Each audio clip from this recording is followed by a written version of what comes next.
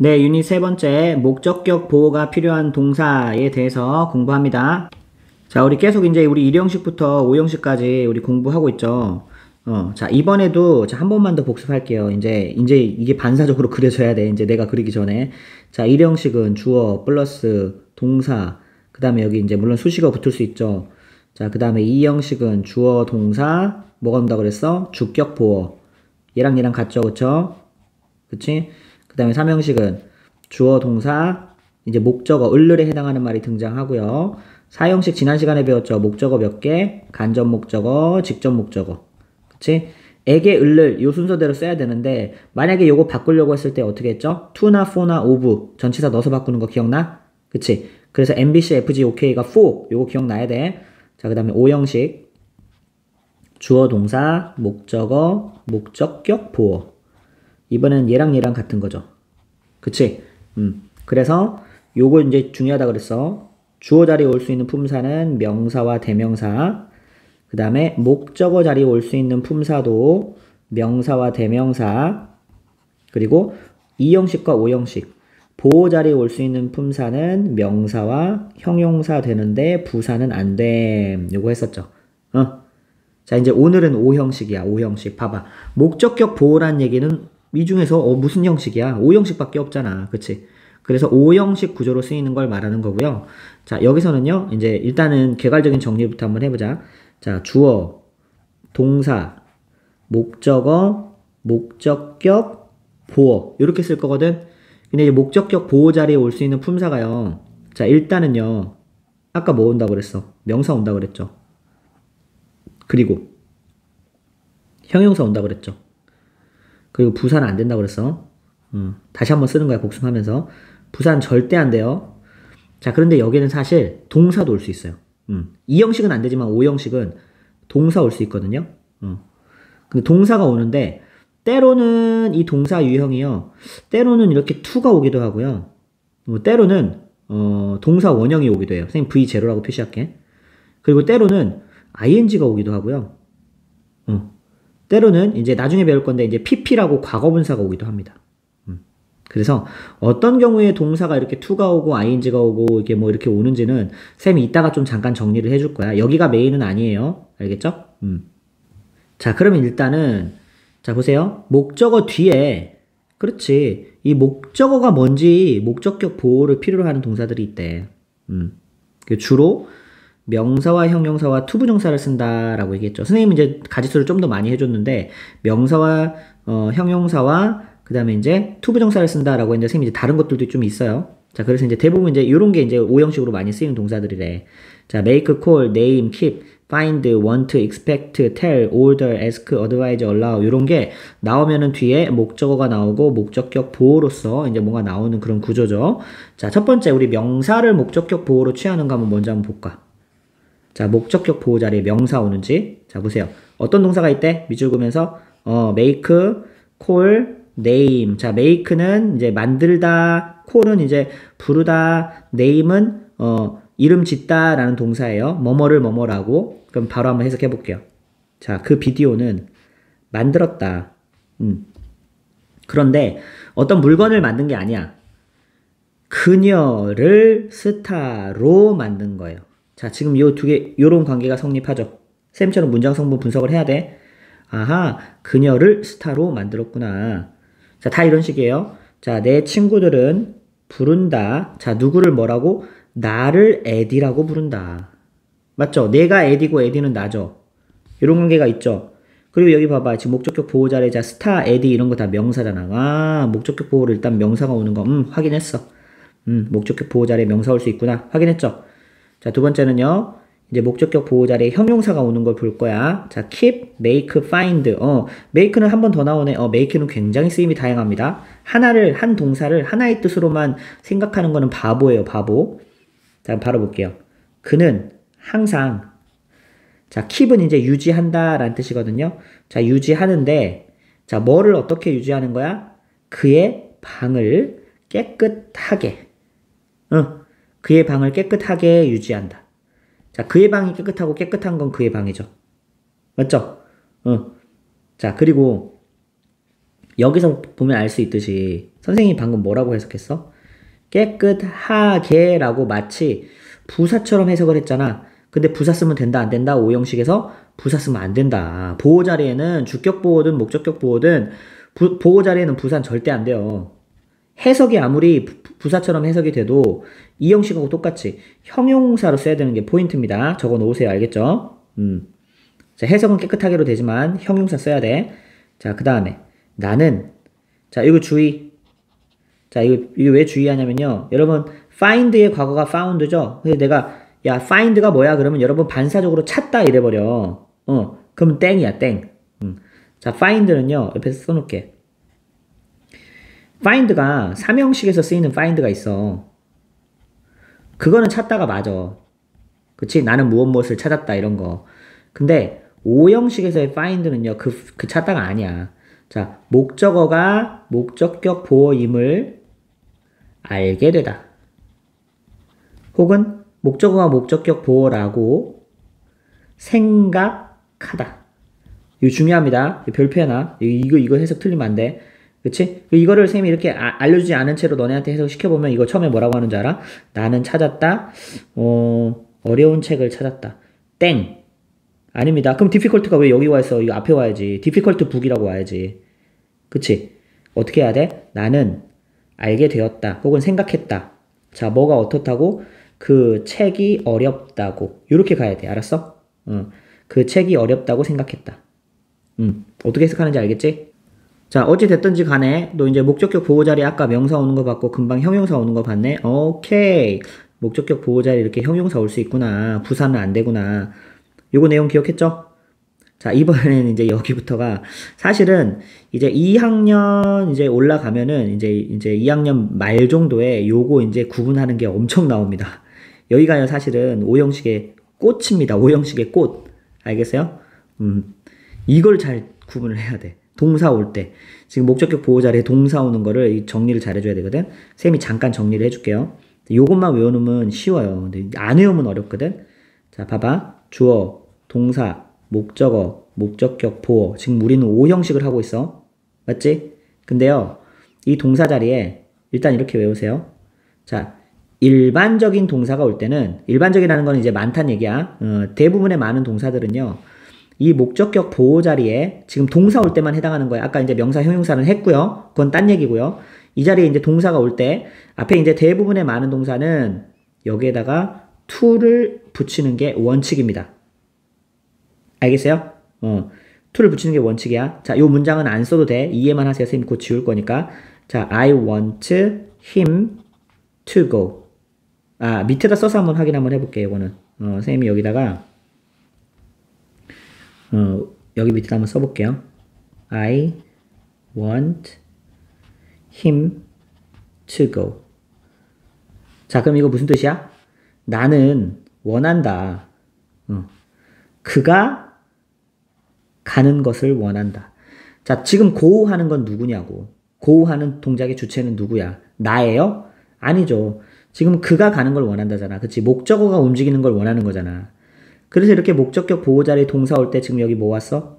to 왔지? 어, 이 to를 빼먹으면 안 된다는 거야. 자, 따라해봐. I want him to go. 그쵸? 나는 그가 가는 걸 기대한다. expect로 한번 해볼까? 자, 해봐. I expect him to go. 어, 자, allow 넣어볼까? 허락하다요. I allow him to go. 나는 그가 가는 걸 허락한다. 그치? 이런 식으로 목적격 보호 자리에 동사가 올 때는 대부분의 많은 동사들은 to를 넣어주는 게 원칙입니다. 일단 원칙부터 외우고 예외로 들어가자고. 알겠지? 자, 이거 이해돼요? 음. 자, 그러면 일단은 이건 잠깐 지우고요. 자, 그리고 이제 이제부터 예외가 들어가는 거야. 여러분 이제 사역 동사라고 부르는 애들이 있어. 음. 사역 동사라고 불리는 애들은 자, 세 개가 있는데 요거 세 개 외우세요. 자, 따라해 봐. make, have, let. 해 보세요. make, have, let. 그리고 얘네들은요, 사역이 무슨 뜻이냐면 이거 시키다라는 뜻이거든요.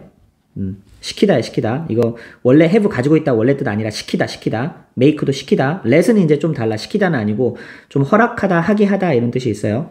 자, 이게 볼게. 이때는요, 사역 동사를 이 자리에 써줄 때는요, 요 뒤에 동사가 올 때 동사 원형을 써준다라는 규칙이 있어. 외워야 돼. 이게 그냥 암기야, 암기. 자, 예를 들면 아까랑 똑같은 구조인데 I had를 한번 해볼게. I had him. 이제 여기서는 시켰다예요. 나는 그가 집에 가게 시켰다. 자, to go가 맞을까? 그냥 go가 맞을까? 어, 그냥 go가 맞다고. 알겠어요? 자, 해봐. I had him go. 음, I made him go. 따라해보세요. I made him go. I let him go. 됐어? 이런 식으로 지금 요 자리에 지금 사역동사라는 make, have, let 세 개가 쓰일 때는 요, 요 자리에 동사 원형을 써주는 게 이게 원칙이야. 이건 외워야 돼. 알았지? 어. 일단 됐어요. 이것도 지울게요. 그리고 세 번째는 어떤 유형의 동사들이 있냐면 지각동사라는 유형의 애들이 있어요. 음. 자, 지각동사는요. 어, 보고 듣고 느끼고 따라해봐. 보고 듣고 느끼고 보고 듣고 느끼고 어. 자, 이거를 어, 이 형식의 감각동사랑 헷갈리면 안 됩니다. 알겠죠? 이 형식에서 우리 배울 때, 어, 뭐, 그, look, smell, taste, sound, feel, 이거 했잖아. 그치? 그거는 이 형식이고요. 그 감각동사라는 개념은, 여기 적어 놓으세요. 이, 이게 명칭이 비슷해서 그래. 감각 동사는 이 형식에서 얘기고요. 지금 여기 지각 동사는 지금 오 형식 얘기야. 오 형식. 알겠지? 그래서, 목적어가 목적격 보호하는 것을 봤다.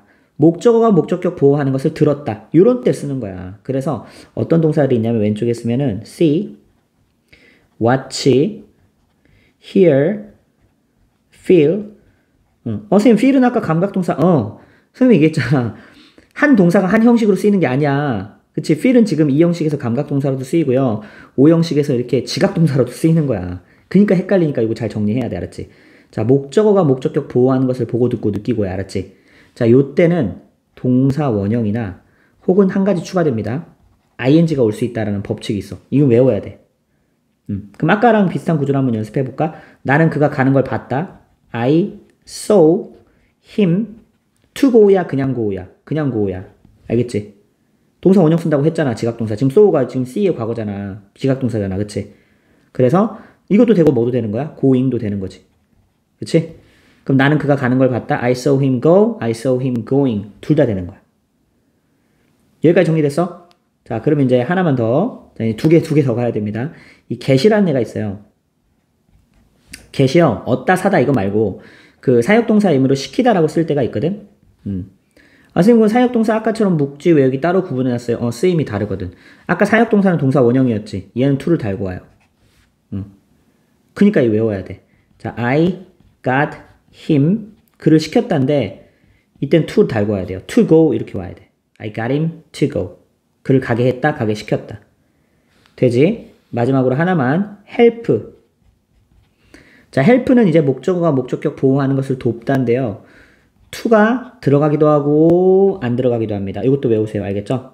그럼 나는 그가 가는 걸 도왔다 해볼게. I helped him 어, to go도 되고 그냥 go도 돼요. I helped him go, I helped him to go 둘 다 돼요. 됐어? 그래서 지금 선생님이 적어준 자, 이 표를 이거 외우면요. 이제부터는 그 인생길이 열립니다. 꽃길이 열리는 거고 안 외우면은 내가 외우라고 하는 건 그냥 외워야 돼. 알았어? 어. 안 외우면은 이게 고생길이 열리는 거야. 알겠지? 어. 어떻게 할래? 선택해야지. 그치? 음, 자, 지금 잠깐 멈추고, 자, 오형식의 구조에서, 지금 근데 우리가 뭘 배우는지 알아야 돼? 지금 오형식에서 보호 자리에, 지금 명사, 형용사 온 건 아까 했고, 그거 빼고 지금 동사가 오는데, 동사의 종류가 막 이렇게 달라지잖아. 그 교통정리 한 거야. 알겠지? 그럼 따라해봐. 일반적인 동사가 올 때는 to를 달고 오고, 사역동사 동사 원형, 지각동사는 동사 원형 ing, 그 다음에 get은 to 달고 오고요, help는 to가 달았다가 안 달았다가. 됐지? 잠깐 멈춰놓고 이거 외우고 넘어가야 돼. 시작! 자, 외웠어. 안 외우면 안 돼요, 이거는. 자, 그래서, 그럼 다시 이제 교재로 가볼게. 자, want나 expect나 tell이나 order나 ask나 advise나 allow 등의 동사는 많죠? 목적격 보호로 뭘 쓴대? to부정사 쓴대. 아. 그러면 선생님이 정리해준 유형에 따르면 뭐야, 얘네들은? 사역이야, 일반이야, 지각이야? 얘는 일반이지, 일반. 응. 일반이니까 제일 많죠. 그래서 선생님이 이거 다 외우라고 안 한 거야. 나머지 예외를 외우고요. 얘네들은 다 to를 온다, 이렇게. 그래서 한번 해석해보자. 자, 나는 원해요. 자, 누가 뭐 하는 걸 원하는 거야? 네가 오는 걸 원하는 거야. 알겠죠? 지금 여기서 come with me, 나와 함께 가는 건 지금 누구야? 나, 너잖아, 너. 그치? 어. 자, 이것도. 우리는 기대했다. 자, 누가 뭐 하는 걸? 존이 이기는 걸 기대한 거지. 그치? 그리고 다 지금 to가 다 나오고 있죠? to가 다 나오고 있죠? 자, 왜 그래? 라고 물어보면 너네 뭐라고 대답해야 돼? 어, 앞에 있는 얘네들이 사역동사도 아니고 지각동사도 아닌 일반적인 동사니까 대부분에는 일반적인 동사들은 뒤에 목적격 보호 자리에 동사가 올때 to를 달고 온다. 여기 머릿속에 들어가야 돼. 알았지? 자, 밑에 CF 있네. 사실 이거 되게 중요한 애인데 그냥 간단하게 써있네요. 자, have let 썼죠. 아, 뭐야 얘네들. 사역이지, 사역. 써놔. 사역. 음, 사역동사. 시키다라는 뜻이에요. 아, 얘네들 뭐야, 얘네들. 우리 배웠죠? 지각이죠, 지각. 어. 이 늦었다 그 지각이 아니야. 음. 자, 얘네들은요, 목적격 보호로 동사 원형 쓴다. 맞나 봐봐. 오, 그래. 사역동사, 동사 원형, 지각동사, 동사 원형이나 ing.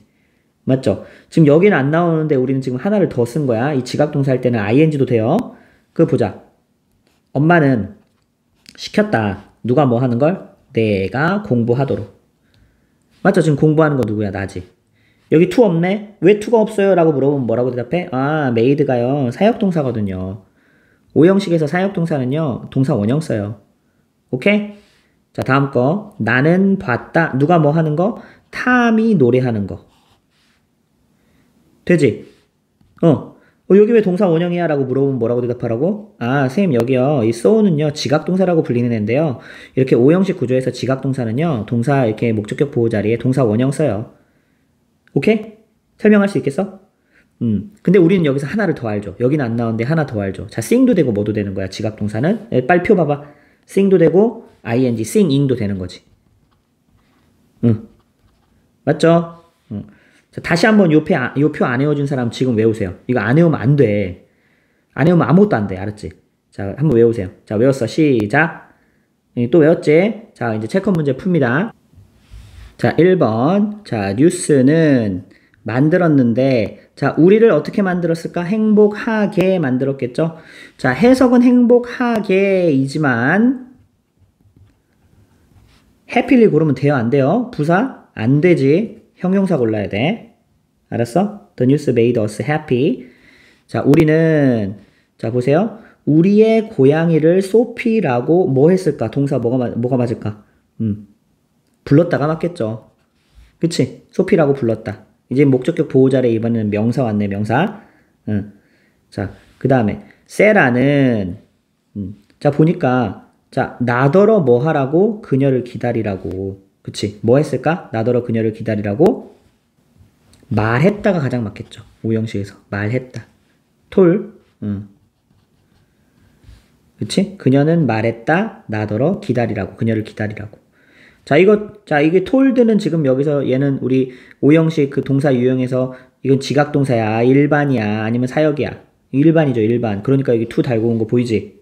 응, 일반은 to 달고 와요. 자, 나는, 자, 이것도 중요합니다. 자, ask가요, 얘도요, 우리 사형식에서는요, 뭐뭐에게 뭐뭐를 묻다라고 해석이 되거든?